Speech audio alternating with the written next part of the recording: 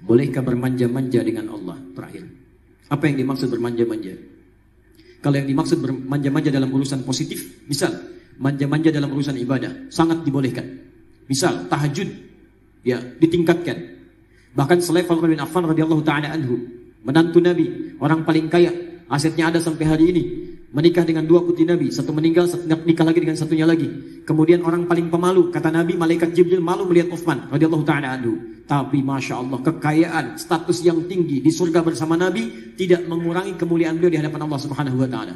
Kata Imam An Nawawi dalam kitabnya At-Tibyan fi Adab Hamalatul Quran, cetakan Darul Kutub Al Islamiyah warna merah marun halaman 38, paragraf pertama baris 1 sampai 2 paling kanan sebelah atas. Kata Imam An Nawawi kalau malam-malam bermanja-manja dalam tahajudnya sampai bisa tahajud hatam Al-Quran. Hatam Al-Quran. Sahabat Nabi dekat dengan Nabi menikah dengan dua putri Nabi. Paling pemalu malaikat Jibril turun malu kepada Uthman tahajudnya bermanja-manja sampai hatam Al-Quran. Antum sahabat Nabi bukan, dekat dengan Nabi bukan, tidak menikah dengan putri Nabi. Kekayaan antum tidak sekaya Uthman. Malaikat turun tidak malu melihat antum. Masya Allah. Coba lihat tahajud antum. Baca Al-Quran, lihat sahabat-sahabat Nabi. Ya, ada yang lain, misal Abdullah bin Mas'ud ketika baca Quran bermanja-manja dengan bacaan Qurannya. Sampai ketika nikmatnya baca Quran, malaikat turun, bergerak angin, tiup kencang badai. Tiba-tiba Masya Allah, beliau diam, diam, baca, gerak lagi. Bingung datang pada Nabi, diadukan. Atan Nabi SAW. Apa kata Nabi? Atadri tahukah engkau? Ya Abdullah. Ketika engkau sedang baca Al-Quran, saking bagusnya bacaan Quranmu, turun malaikat ingin mendengarkan bacaan Quran. Banyak yang turun, banyak turun, banyak turun. Masya Allah. Bermanja-manja dengan bacaan Al-Qurannya. Karena itu seperti Abdullah bin Mas'ud cuma satu di muka bumi. Bayangkan kalau semedan baca Quran seperti Abdullah bin Mas'ud. Uh, hancur semua medan ini. Turun malaikat.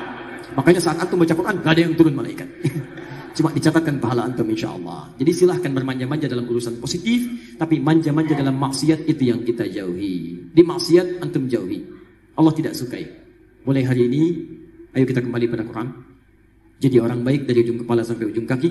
Dan itu insya Allah mengantarkan kita ke surga bersama keluarga kita. Ya, jadi saya tidak ingin dengar ada pengusaha dari sini jadi tidak baik. Baik, jangan terima hal yang tidak benar.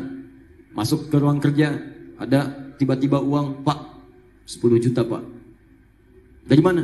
Ya untuk bapak lah, maaf. Tangan saya sudah baik. Jari tahiyat saya tidak akan pernah menerima maksiat. Ambil. Masya Allah. Pak, 100 juta pak.